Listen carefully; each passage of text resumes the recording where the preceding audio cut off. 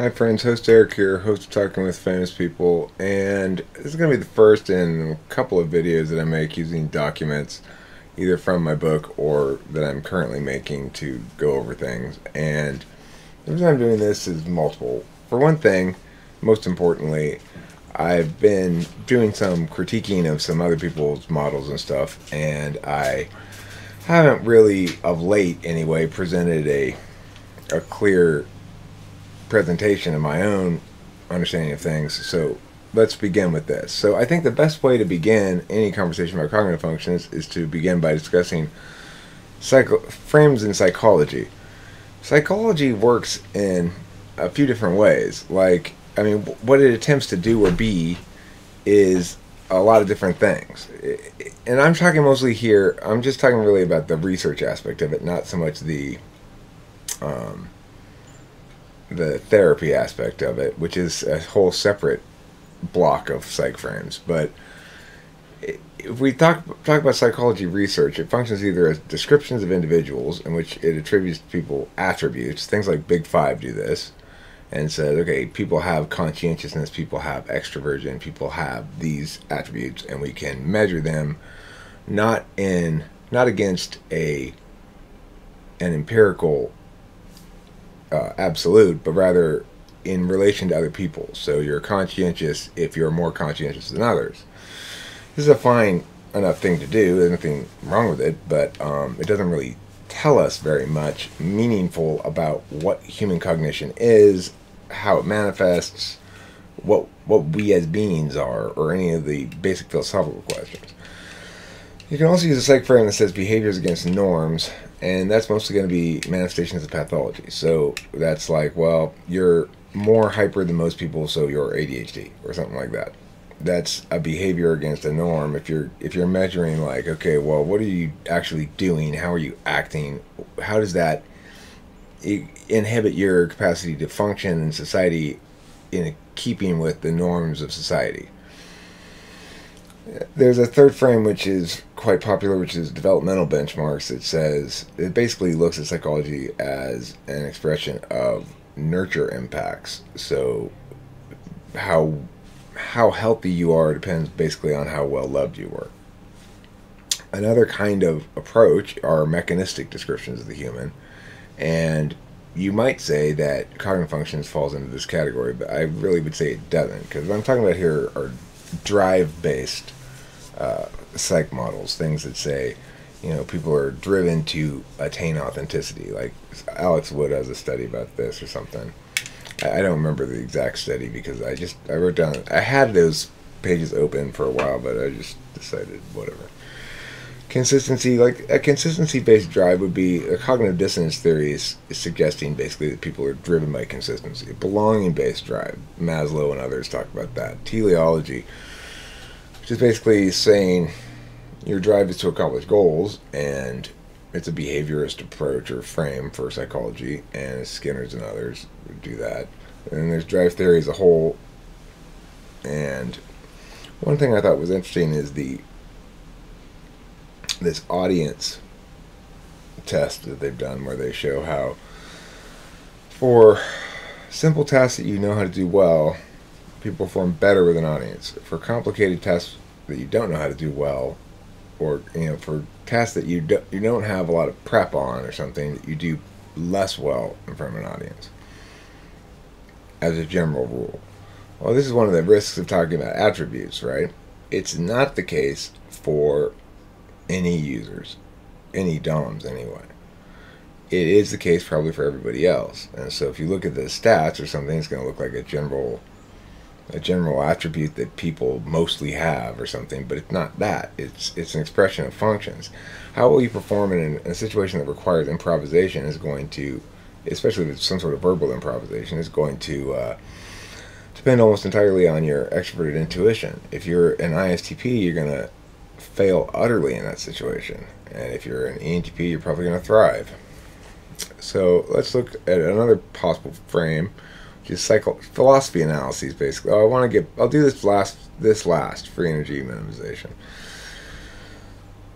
What is X as it expresses in human behavior actually? So like, Okay, well, what actually is authenticity? That's another question that psychology might ask and try to explain it in terms of of either brain activity or brain chemistry or some other empirics like that, right?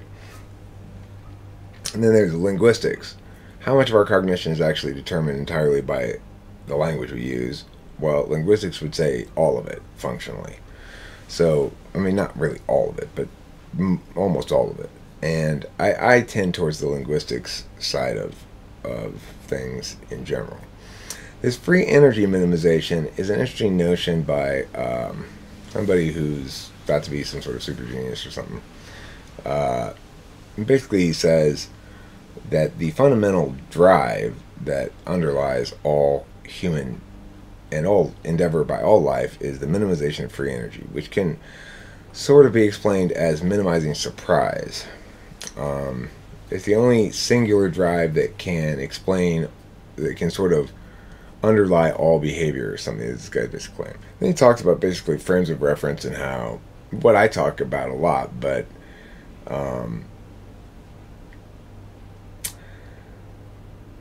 he I don't know for some reason the way he talks about it I guess has captured people's imagination a bit. But anyway, uh, so well, I guess he's got like you know he's probably has letters after his name and stuff too. Taxonomy of attentional manners. So this is what we're actually talking about, though, in general when we're talking about cognitive functions, is a taxonomy of attentional manners, and it's an observer first taxonomy.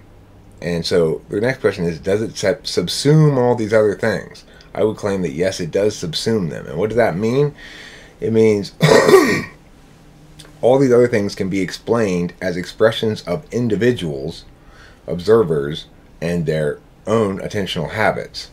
So the reason this guy is so focused on this links to his own attentional habits and this understanding of the world that that humanity is an expression of a drive towards authenticity is an understanding of the world that's an expression of Alex Wood, who is probably you know an INFP or something, and so he, he's trying to to use science, quote unquote, to convey his understanding of the world, unaware that he's frame locked in his own frame because he doesn't have a meta frame like this to subsume his own shit.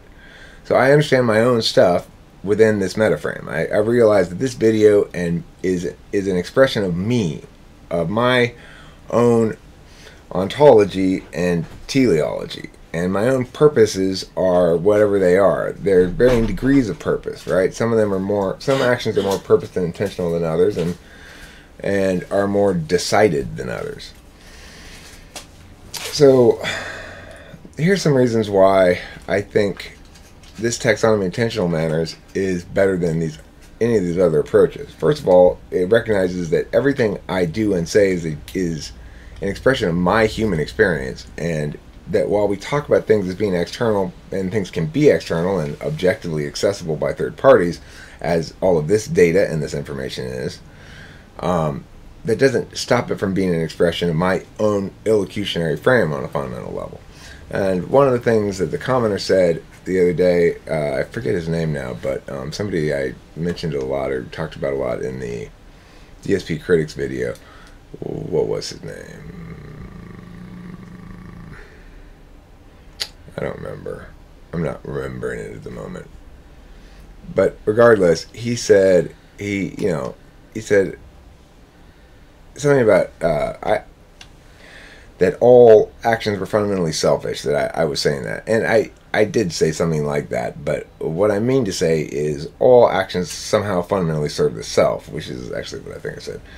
Which does not mean they're selfish. It means that I might be very selfless, but in doing so, I'm I'm garnering selflessness as part of my ontology. And I might think that's a good thing or believe it to be the righteous thing or something like that. And then in so doing, I'm I'm supporting and maintaining that ontological process or consideration in my identity. So there is a illocutionary frame to everything. Everybody's got a purpose for doing things, and when we when we try so hard as as sciency sounding stuff to extract the individual from the equation, to extract the observer from the equation, we reduce its link to reality, basically. So it's descriptive of my human experience makes me more powerful in deconstructing yours and my own, right? Than you are if you don't have the metaframe. It's the most frame aware of all the possible psychological frames that you can employ. In other words, it's its whole point, as far as I'm concerned, is to never be caught unaware of your frame. Most reality consistent, that's how reality actually works, is these people are all just expressing their own frame biases and are unaware of it. E- equalizes marginalized manners of being. That is to say, when we recognize that the, this logical explication of things that's TI sound and TI validated is is that but it, that it's got not necessarily going to win on other metrics because of what it, it is attempting to be then we just need to look and see if the context is appropriate is this an appropriate situation to be using that metric instead of the others recognizing that no metric has absolute primacy and also recognizing that some metrics are appropriate for some circumstances and inappropriate for others. These are the sort of things that happen when you have the metaframe in place that don't happen if you don't have it in place. Contextualizes all manners of beings and recognizes their excesses. So we can, we when you realize that your logic, for example, is an expression of your being rather than a universal truth that everybody else needs to agree with, then you realize, oh, I'm I'm hammering everybody with this because I think it's the only way to be or something. But it's not the only way to be, and it's not the only metric to use, and it's not necessarily a good metric to use in every situation. And even if it is a good metric to use in a given situation, it doesn't mean that I ought not pad it with some FE, for example. And recognizing all these things is necessitated by almost like understanding them prevents you from not utilizing that knowledge it, it, it's exclusive of that in some way. Okay, so uh, requires that your perspective acknowledge the illocutionary aspects as well if it wishes to not be subsumed, to argue its position within a field of alternative equivalence, and renders a person able to manage all those psycho- psychology schools in one frame. In other words, right, this one frame, this one meta frame explains all of these things, but they explain them as as manifestations of the people who make them and say them so, it, as long as we keep focused on the individual foremost and the observer foremost, we aren't going to run afoul of reality. Philosophy, nature of reality, expression of conscious being. So, um, these are some philosophy things that I think it's important to sort of have in place as observations before making any further case about cognitive function. The nature of reality is that it's an expression of conscious being. There is no reality that we can imagine or think of or experience or be or anything that's not an expression of a single conscious being. And as far as it's communicable, it's almost certainly an expression of a single conscious um, being that is persistent across time in a way that's made possible by the language. So, time space. There's no, observation equals instantiation equals existentiality. In other words, there's never an instance of a thing not in a frame you can't observe something without observing it within a frame and instantiating it and thereby rendering it existential. Time, space, light, and energy are expressions of conscious being like everything else knowable, experienceable, communicable. So this is we, we think about time, space, and light and energy as being these external things, but time is individuated. Space is only relevant as via an observer's perspective on it. Light is I, I mean, the thing is, it's hard to understand any of, of these physical things as being expressions of a given individual's ontology, but they are. And the reason is because they couldn't, it's not possible for them to not be, their existence supervenes upon observation like everything else. The dimension of physical reference is necessarily resultant from sentient agents manifesting on the physical plane. One aspect of being is experiential. It happens in the now and it is not made of meaning, though we cannot talk about it without first making meaning from experience. So, one aspect of being is experiential, which means it's real time, it's happening now. So, it links in time to the now. The experiential makes life weighty. That's where FI lies. SI, your memory's good and bad that you carry with you and weight you down and cause you to feel things. That's all experiential residue or artifacts of experience. The dimension of representational representational reference is necessarily resultant from sentient agents manifesting identity that persists across time. Identity persistence comes from language. Um, now, note that being persistence doesn't. So, like my cat knows who I am and knows that somebody else isn't me and stuff like that, even though it doesn't have language, right? But the cat doesn't really have probably self concept. So, I guess that's maybe a better thing to differentiate there. The representational makes life significant, whereas the experiential makes life weighty. Uh, it's there's a difference there. Significant means worthy of further attention. Weighty means demanding of further attention. The architecture. So, what's the architecture of my understanding of cognitive functions? Is there two aspects or ecosystems of reality: physical and metaphysical, or real-time and turn-based, quote unquote. There are four manners of being sentient, in, and four manners of being sentient are needed to function fully as an agent in either ecosystem: knowing, judging, acting, interacting.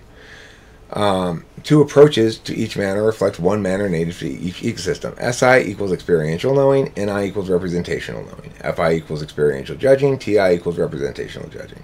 TE equals experiential interface, FE equals representational interface. SE equals experiential action, NE equals representational action. Each person, person being extant in both real time and as a persistent identity means each person has three functions native to one ecosystem and one function native to the other. The reason for this is the way that the action and knowing functions link on the axes. The action function of one ecosystem links to the knowing function of the other ecosystem.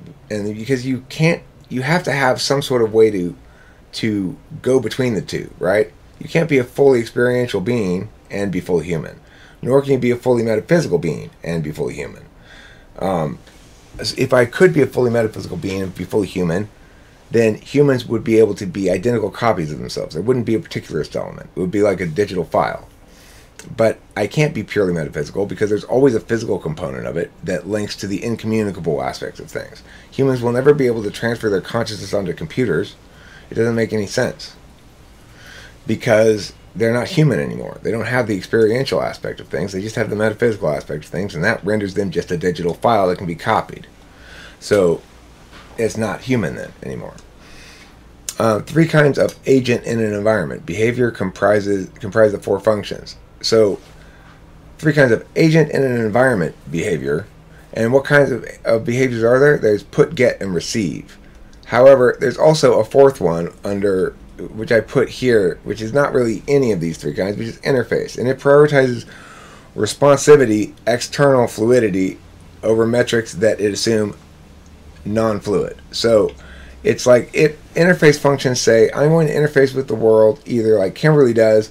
If I run into a problem, I'm going to think how who do I get to solve this problem? And if you interface in that way, then you've got to be very responsive to the person you're dealing with and under, reading them and understanding them and help moving them to doing what you need them to do. If you use TE as an interface function, you need to be very responsive to the actual thing in front of you. If I'm fixing the doorknob and I notice something, it, I have to look carefully and notice everything and try to figure out how to fix it. Or when I was trying to make the Cricut work properly for Kimberly, I had to do some trial and error and figure out how to fix it, you know, or figure out how to make it work. That's TE. I don't. I didn't look first FE to think, okay, well, who can who can Kimberly and I call to who can help us with this? I thought TE first because it's six slot and it's reasonably strong and it's it's it's more of a tool like function for me than FE is, which is more of an absolute value. So these interface functions TE and FE they use put get and receive in a in a um, turn-based real-time hybrid responsivity web thing. Okay, but there there's really only three kinds of action or three kinds of behavior put information, get, receive. If you think about computers, uh, it works the same way. It's like you're either putting information someplace, like in a form, you're getting information just by like reading something, or like you're doing now, or you're receiving information that you didn't actively get, right? Now these these are are rough rough metaphors because really your receive function is a knowing function, which means basically you understand things as this way or that way before you do any deliberation on them, which would be the judging functions, and you use that knowledge to take um, to interface. So you need to interface your your your. Uh, I mean, I'm sorry, to act. I don't want to get bogged down. Let me finish this last bit, and then I'm going to end it after six. I'm only going one through six here. Mechanics are implicit to realities regarding the nature of attention itself. To attend to one thing, this is the mechanics of functions. To attend to one thing and in one way is to not concurrently attend to another thing and in an exclusive way, and, and in a way exclusive of the first. So, um, in, in a way exclusive of the first. This is both self-evident and definitionally necessary. Pay attention to X equals Ignore not X if attending to not X will prevent or preclude attending to X. Note, intentionality refers to direction and willfulness refers to impetus. The program function is intentionality framing and has its own impetus. The tool function is both intentional and willful. The tertiary function is willful but only sometimes intentional. The seeking function is willful but only sort of intentional. The ignoring function is unintentional and reflexive because you don't need to. The countervalued function is willful but unintentional. The polar function is reflexive and unintentional because you can't. The balanced function is reflexive but intentional.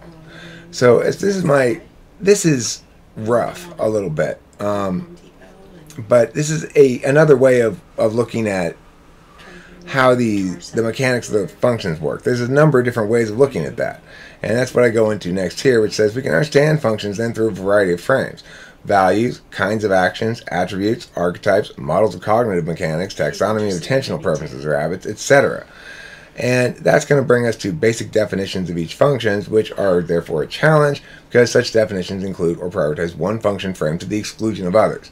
Now I do, I'm going to read this one example definition, which is for NE. I haven't finished the definitions yet, but at this point I'm starting to think maybe I should just go back to my book and start making videos from that. So, um, NE, a manner of being in which an individual's attention is directed towards the generation of new words, ideas, and meanings. Number one, habitual use of this function at the expense of others correlates with valuing novelty, creativity, and expression. In other words, if this is your program function, you're going to value these things for sure. Because it is a manner of action, NE is always paired with the judging function, ti or fi, when NE works as the program function, which balances will and intentionality as expressed up here, right?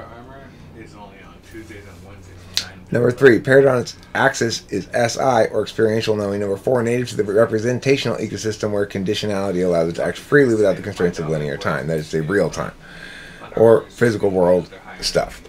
So, look, I, I regret and lament the fact that this is somewhat complicated. And so, is why I'm making a couple of, uh, like a, I'm going to make a series of these littler videos where I cover chunks of ideas, I guess. But um, it the the important things to remember are pretty straightforward and simple. That no matter what you think, say, whatever, no matter how objective, reasonable, logical, whatever it is you, you think you are or are actually, your words, behavior are still fundamentally an expression of you. And they are not, first and foremost, the locutionary meaning of the words, the idea that exists outside of all of us somehow those words are not first and foremost that. They are first and foremost an expression of who you are, a particularist being that can never be um, anything but wholly unique in some sense because of their particularist half, but at the same time will always be an expression of some pattern because of their metaphysical half. So the the thing is, we run afoul of lots of apparent paradoxes and contradictions, problems, disputes, whatever, when we don't have a meta frame. And everybody walks around presuming their own frame is their frame because it's the best, not because it's their it's a reflection of their attentional habits. That's what to me cognitive function offers humanity is a meta frame of of being self-aware that your frame is your reflexive habit, not not a revelation of how how much more more correct you are than everybody else about everything, right? It, it may be true that some sets of words within certain frames will resonate as more useful and true and everything. But even if that's the case, That just means you're doing a good job of being yourself. It doesn't mean that you're the reason you're right is because of it's a complex it's hard to explain The way, can I ask you this? Like, I've often asked, uh, or or tried to describe people, or try to help people uh, understand that we're given a set of like, we're the circle, and then there's pies, and so your attentional matter or whatever, you get like pie shapes, and so when you, some people think more in this area, like, you know what I'm saying, like, um, if you were to use pie shapes, it doesn't mean that you have more of this, it just means you have less of that. right. In other words you're going to get a slice of the pie. And you're naturally going to think that you've got the best slice of pie okay? The, reason you picked that slice of pie is because that's the best piece obviously. But the reality is you didn't pick that slice of pie. You are that slice of pie. And the other slices of pie may be different kinds of pie, like boysenberry or, or strawberry or something. That doesn't mean that lemon meringue pie is best because you're a lemon meringue pie. Okay, that's basically the gist of it. So um, that's it for this video. That's uh, 26 we should minutes. have said cheesecake. Cheesecake, right. Don't forget to eat plenty of cheesecake.